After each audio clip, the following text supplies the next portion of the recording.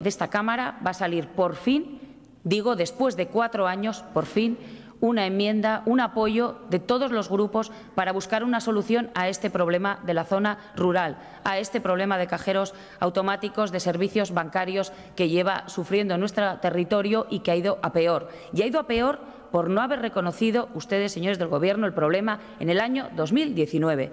Lo siento, pero tengo que decirlo. Perdimos el tiempo con un inventario y con un estudio que no sirvió absolutamente para nada. Y ustedes lo saben.